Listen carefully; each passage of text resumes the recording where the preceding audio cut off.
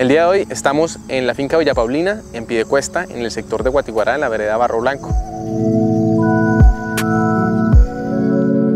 El día de hoy vamos a conocer como tal los procesos que hace EVES Soluciones Ambientales, en nuestros procesos de lombrinaza, de fabricación de lombricultura como tal, de transformación de residuos orgánicos y de fabricación de fertilizantes para el agro colombiano.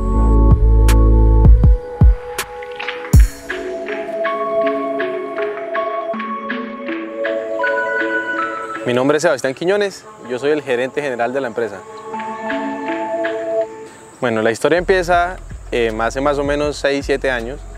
Yo estaba terminando el colegio y en su momento pues mi papá me pregunta que yo qué quiero hacer con mi vida, ¿sí? ¿Qué, qué es lo que tengo pensado. En ese momento pues em, tenía claro que quería pues entrar a la universidad evidentemente y tenía muy claro por lo que había visto de él que no quería ser empleado. Que la vida de empleado puede ser buena pero, pero siempre tiene sus pros y sus contras y para mí eran más los contras que los pros. Entonces yo quería tener mi propio negocio, ser independiente y pues de una u otra forma trabajar en, la empresa con mi papá. En ese momento empezó el involucramiento de Sebastián en la empresa ABS porque desde que empezó sus primeros semestres todos sus trabajos fueron enfocados hacia la compañía, hacia el desarrollo, hacia los productos, hacia los procesos que hoy por hoy estamos ejecutando, algunos de ellos diseñados por Sebastián. Pues yo entro a la universidad y todos mis cuatro años y medio de carrera fueron enfocados única y exclusivamente al trabajo de la empresa a, utilizar pues como tal la, universidad como una plataforma de investigación para encontrar, buscar pues nuevas formas, nuevos negocios, nuevos mercados para ayudar a que, a que la empresa apenas yo ingresara pues creciera de una u otra forma. EBS Soluciones Ambientales eh, se vinculó a nuestra ventanilla de negocios verdes desde el año 2018 han trabajado constantemente para poder cumplir con los criterios ambientales que lo, eh, lo pudieran avalar como negocio verde.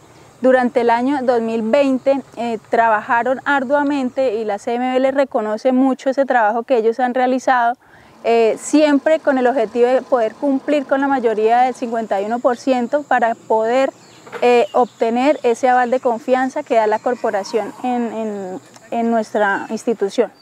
Entonces ellos eh, tienen un profesional asignado desde nuestra ventanilla eh, que le asesoró, que le hizo fortalecimiento, eh, recomendaciones con un plan de mejora para poder cumplir con todos estos criterios y hacia final del 2020 ellos lograron asistir a la ceremonia de, aval de cumplimiento como un negocio verde formalmente certificado por la CMB. Dentro de los procesos que nosotros manejamos y de los más relevantes, la lombricultura como tal es para nosotros un proceso muy importante porque fue con, el que empezamos empresarialmente. Eh, hace 15 años fue nuestro primer producto, nuestro primer proceso con el que salimos al mercado, con el que nos dimos a conocer y para nosotros es entrañablemente muy querido. Entonces vamos a explicarles qué es en esencia, cómo opera, cómo funciona, cómo se alimenta y después eh, ya les vamos a dar una muestra de textura final del producto. Aquí esta, esta estructura que está armada con techo y con estas eh, lonas, lo que pretende es que la lombriz tenga la mayor cantidad de penumbra posible, porque las lombrices son fotofóbicas, es decir, le tienen miedo a la luz. Entonces, en la medida que ellas tengan una buena adecuación de penumbra, pues van a estar trabajando siempre en la parte superficial de la cama. ¿Cómo, cómo se alimenta? Y les voy a destapar aquí esta lona. Entonces les voy a quitar penumbra a las lombrices. Todo esto que ustedes ven acá, y me voy a parar encima de la cama, son lombricitas comiendo estiércol. Estiércol es esto, estiércol de vaca. Pero estos son pedazos de estiércol. Y esto que les voy a mostrar, ahí se ven las lombrices ya, son las lombrices que ya se han comido todo el estiércol y cuando la cama tiene esta textura como lisa, que se ve como amarilla, como plana, significa que ya está lista para volver a alimentar. ¿Cada cuánto se hace este proceso? Este proceso se hace más o menos en nuestra operación cada 15 días. Entonces cada 15 días nosotros, de tener una cama así de plana, volvemos y le echamos estiércol y vuelve a quedar con esta estructura rugosa y terrosa. A los 15 días, cuando ya vuelve y quede bajo estas condiciones, es que la lombriz ya se comió el estiércol y toca volverle a aplicar estiércol. La lombriz roja californiana tiene una característica que es que ella necesita penumbra y humedad para poder proliferar como tal. Entonces nosotros le aportamos a nuestras 50 camas de lombriz las condiciones de penumbra en total oscuridad y de humedad, aportándole cada dos o tres días eh, un riego constante de agua. Esta agua, pues para iniciar como tal con el tema de la sustentabilidad, la tomamos de un pequeño lago que creamos eh, aquí dentro de la, de la planta y todo el agua que se, se, recolecta en el lago simplemente se va regando pues entre las camas. Entonces vamos a poner en evidencia cómo es que se hace el proceso de alimentación, cada cuánto se hace. Entonces venga José, traiga la garreta. Este es material fresco recién recogido de establos. Fresco es que tiene 20 días de haber sido capturado de un establo. Entonces, como les evidenciaba, este punto en donde la cama se ve planita significa que la lombriz ya se comió todo el estiércol. Y se le echa una capa más o menos gruesa a esa altura de material para que la lombriz suba se come el material fresco y vuelve y nos deje esta textura. El estiércol de ganado lo tomamos del ganado que hay acá dentro de la finca, el ganado que tenemos nosotros, el ganado que llega y a su vez pues de otros eh, contactos y contratos que tenemos con empresas externas que nos facilitan ese estiércol. Este proceso se hace cada 15 días. Después de que las alimentemos todas, se riega y se aplica agua más o menos dos veces por semana.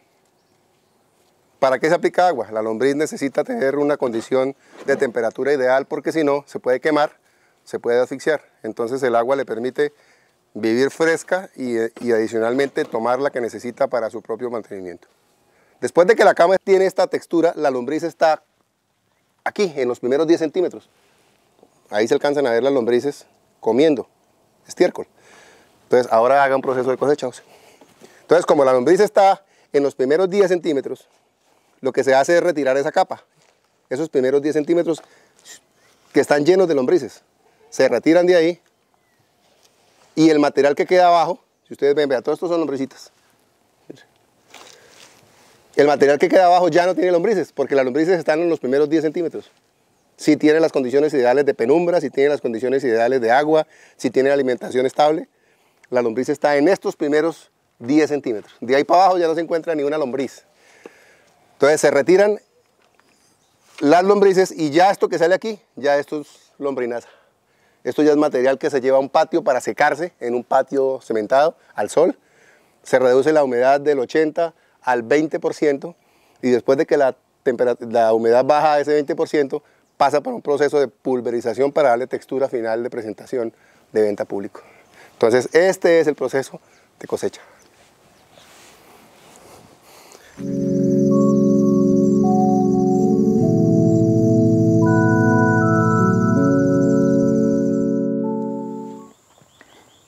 Bueno, lo que yo les quiero evidenciar en este momento son estos tres módulos de semillero en donde buscamos que periódicamente se haga una repoblación de las camas que más tienen lombriz. ¿Qué buscamos en estos módulos? Pues hacer diferentes tipos de alimentación para nuestras lombrices, buscando específicamente que ellas demuestren qué tanto potencial tienen dependiendo de la variación que se le haga. El módulo 1 es únicamente manejado con estiércoles, Módulo 2 es estiércoles y rúmenes y módulo 3 es estiércoles y otro tipo pues, de desechos orgánicos ya mucho más vegetales. Em, de una u otra forma, pues lo que busco evidenciarles acá es que la población de lombriz en este tipo de módulos es mucho más amplia. Es importante también que podamos notar esto. Esto es un huevo de lombriz. El huevo de lombriz se incuba en más o menos un periodo de 14 a 21 días y de cada uno de los huevecillos que tiene una lombriz podemos obtener entre 20 y 25 lombrices nuevas. Es muy importante también que notemos que la lombriz solo se reproduce en una temperatura de más o menos 20 grados. Por eso buscamos siempre que pues, estos módulos sean bastante oscuros y estén bastante húmedos.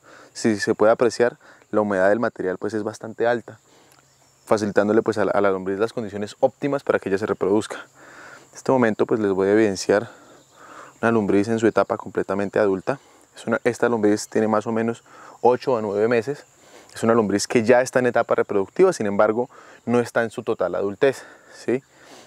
En estos módulos lo que buscamos es que haya mucho más eh, lombriz juvenil y adulta joven que lombriz ya muy adulta o muy joven. ¿Para qué? Para que podamos aumentar el ciclo reproductivo de las lombrices. Más o menos cada 7 días ellas se están apareando y producen de 10 a 12 huevos por cada ciclo de aparición, lo cual nos permite que un cultivo de lombriz en un periodo de 6 meses pueda aumentar su, tamaño y su población de entre 8 a 12 veces. Acá les voy a pues, evidenciar como tal cómo se encuentra la población de lombrices en este que es su estado em, más específico y mucho más em, favorable, por decirlo de alguna manera. Aquí tenemos muchos nódulos de lombrices en este caso. Esto es una lombriz completamente adulta, es una lombriz cuyo clitelo, específicamente esta parte, está completamente formado. Con este clitelo es que ellas se conectan y se reproducen. Si podemos evidenciar, ella está buscando introducirse entre mis dedos para encontrar oscuridad y encontrar humedad. La lombriz tiene otra ventaja y es que es de alguna manera como un cerdito. Puede comer cualquier tipo de, material. Obvio, lo que más le gusta es el estiércol de vaca, pero así como come estiércol de vaca, puede comer desechos de cocina, puede comer papel, puede comer cartón, puede comer pollinaza, puede comer pañales, que nos parecería entre comillas asqueroso, pero la lombriz es capaz de degradarlos y transformarlos puede comer lodos cloacales, la lombriz puede comer todas las asas, conejazas, lombrinazas, pollinazas, caballazas, ¿sí? Todo eso. Alguna gente decía que tocaba picarles, no, la lombriz no necesita picarles. Ella es capaz con las enzimas que genera en su sistema digestivo, capaz de degradar. Miren eso tan hermoso. Para mí eso es una hermosura. Así como es capaz de degradar cosas pequeñas, pequeñas como esas, es capaz de degradar materiales así grandes como estos. Y no necesita ser picado ni nada. Así la lombriz le entra, lo degrada y después de un mesecito estos se vuelven puros filamentos, puras hilachitas hasta que lo degrada totalmente. Nosotros consideramos que es muy importante volver al campo porque en la actualidad estamos perdiendo esa relación que teníamos tan íntima con la producción como tal de los alimentos. Hemos llegado a un punto en el que específicamente producir un alimento ya se hace de manera completamente química y tecnificada y esto hace que aunque se vuelva mucho más rentable económicamente, se pierda como tal la relación con el suelo y con el cultivo. Por medio de nuestros productos lo que hacemos principalmente es preservar los suelos para prolongar como tal la vida de un cultivo. Si un cultivo está para una media de 10 años, con, los, con la fertilización tradicional nosotros buscamos que se llegue más o menos a 20 años, inclusive a 30, e inclusive que el cultivo no sea perenne, sino que sea eh, completamente longevo a lo largo del tiempo.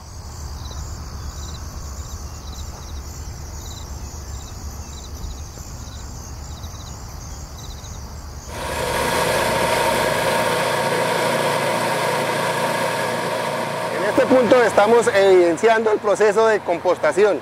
¿Qué es compostación? Es transformar residuos orgánicos, pero ya a escala industrial. En la pila que estamos viendo a la izquierda, pues obviamente esto no se hace a mano como lo estamos haciendo ahorita, sino mediante una banda transportadora. Lo que pasa es que estamos haciendo una reconversión de la planta, pero ahí donde están ellos dos, debe haber una banda transportadora alimentando esto. Eso es una desbrozadora a escala industrial, es una licuadora gigante. Es una máquina que tiene 25 kilovatios y ir a 3.600 revoluciones por minuto. Entonces, cualquier cosa que coja es capaz de desbaratarlo tiene tal fuerza que un día cogió un tornillo y lo mandó casi 100 metros allá al fondo. Entonces, lo que recoja esa, esa máquina es capaz de reducirlo de tamaño. ¿Para qué se reduce el tamaño del material? En la medida que el tamaño sea más pequeño, el proceso de compostación es más rápido. Entonces lo disminuimos de tamaño para que la compostación sea más rápida y más eficiente. De tener un material así, una pila gruesa, después el material sale muy fino como está saliendo allá. Después de que sale allá se transforma y se hace una pila, una pila de compostación como estas que ustedes tienen acá. Esa pila de compostación después se le monta una máquina que se llama volteadora que lo que hace es cada cierto tiempo, ocho días en el caso nuestro, voltear el material para que el proceso se acelere y podamos obtener compost en máximo 70 días. Entonces, material, pila de material, picado, apilado, volteado, producto final. Mientras en lombrinaza hablamos de 10 o 20 toneladas, aquí hablamos de 600, 800, 1000 toneladas de proceso de transformación. Entonces, el compostaje permite grandes, mover grandes volúmenes o transformar grandes volúmenes de materia orgánica.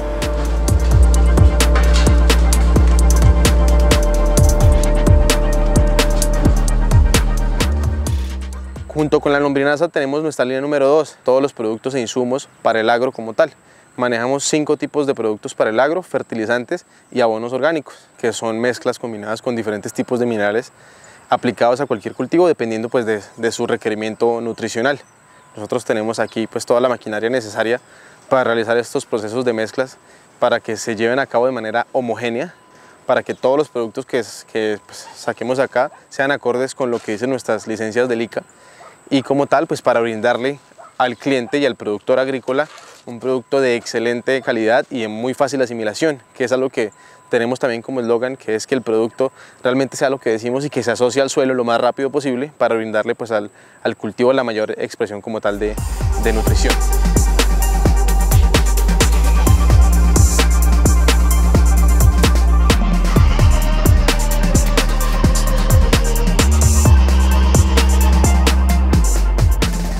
Lo que, lo que queremos como empresa dedicada a reforzar el agro es que volvamos al suelo, a recuperar las características, las bondades y las ventajas del suelo.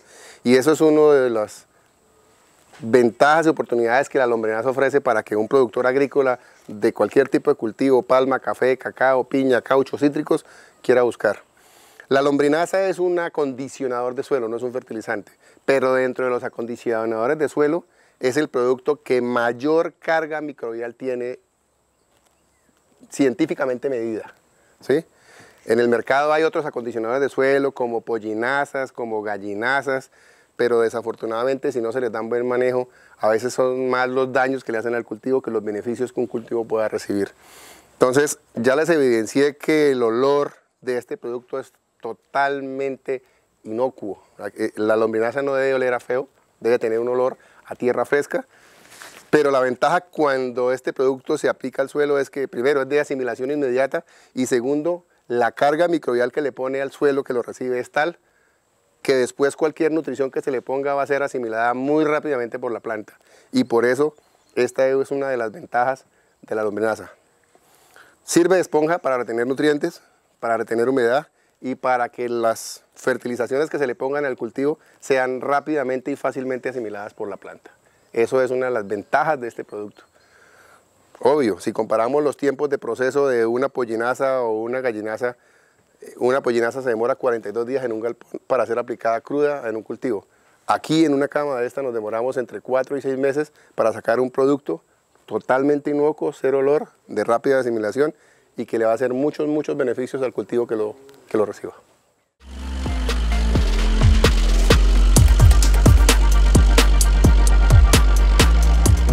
¿Cuál es el ciclo final de un desecho de una empresa grande? Es recoger, pasar carro recolector, echarlo en un carro recolector, llevarlo al carrasco, ponerlo en el piso y taparlo. Ese es el proceso normal que se hace casi en la mayoría de las ciudades colombianas.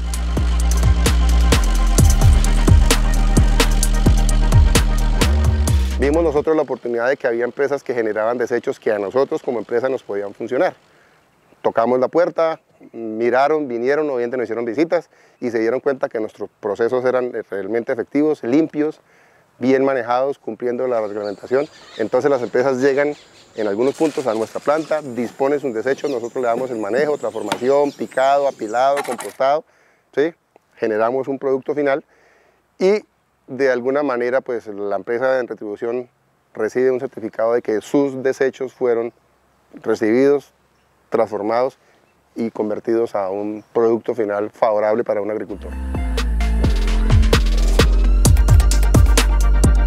Bueno, el día de hoy pues les queremos mostrar las diferencias físicas de tres de nuestros principales productos en el, en el mercado. Lo primero pues que yo les quiero hacer notar es que las bases de cada uno de nuestros productos pues son la lombrinaza pura. Es una base que le permite a cualquier tipo de cultivo asimilar de manera mucho más rápida todos los nutrientes que puede aportar pues cada uno de estos tres productos. Vamos a empezar con lo que es lombrinaza pura. Es un producto de color pardo, es un producto cuya concentración de capacidad de intercambio catiónico le permite a cualquier cultivo asimilar todo tipo de nutrientes que haya en el suelo retenidos o que se le aporten pues, a lo largo de un proceso de fertilización. El siguiente de los productos pues, es un acondicionador de suelos muy básico y muy sencillo, conserva la misma contextura de una lombrinaza, el mismo color, sin embargo es un poco más claro, porque esto es una mezcla de diferentes minerales para buscar aportar no solo una base orgánica muy sólida, sino también una carga al suelo que le permita recomponerse de cualquier tipo de pronto de acidez que esté manejando en, ese momento. Y finalmente tenemos acá nuestro fertilizante orgánico mineral, como pues se puede evidenciar, es el mismo color que los dos productos anteriores, por como les comentaba, lo que buscamos es que se mantenga siempre una carga orgánica que le permita pues al suelo acoplarse a todos los nutrientes y de igual manera pues se aportan varios tipos de minerales necesarios en cualquier tipo de cultivo. Tiene los aportes necesarios de nitrógeno, de potasio, de fósforo, buscando así que el cultivo pues exprese su mayor capacidad productiva y logrando no solo una buena producción para el agricultor, sino también preservar el, el suelo y que la producción pues se pueda postergar por varios, por varios periodos.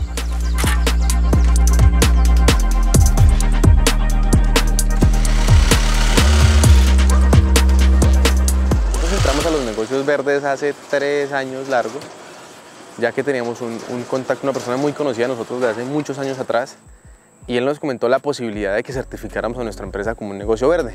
Nosotros ya partíamos del hecho de que la empresa era un negocio verde por lo que hacíamos, pero no contábamos con ese sello y con esa certificación pues que, que nos, nos, nos valoraba de, de esta forma. Encontramos como tal en los negocios verdes, primero, un trampolín para mostrar a la, a la comunidad, a las demás empresas, el trabajo que hacemos, que actualmente era, pues actualmente no, sino era enfocado mucho más al sector privado. No estábamos tan interesados en mostrarle a la comunidad, en mostrarle a otras empresas, en mostrarle al gobierno que teníamos unas alternativas sostenibles y económicamente rentables para cuidar el medio ambiente. Después de que ingresamos al programa de negocios verdes, tuvimos una mejora abismal porque encontramos que los procesos que hacíamos eran buenos, pero teníamos que perfeccionarlos para poder hacer sinergia como tal con, este sello verde, para estar muy a la par de lo que nos exigía el sello, de ser completamente sostenibles y de garantizar que lo que nosotros hacíamos y los procesos que aquí manejábamos, pues en realidad le estaban aportando al medio ambiente. Bueno, esto es un trabajo de 15 años ya, pero nosotros queremos seguir primero creciendo, creciendo a escala industrial, a escala económica, obviamente, pero también queremos estar mucho más cerca de la comunidad porque de alguna manera esto nos hace, eh, esto es un trabajo para la comunidad. Obviamente genera réditos económicos para nosotros, pero la, la comunidad se ve beneficiada. Entonces nosotros queremos acercarnos más a la comunidad, atender más, dar mejores soluciones y de alguna manera enmarcarnos legalmente en lo que significa crecer.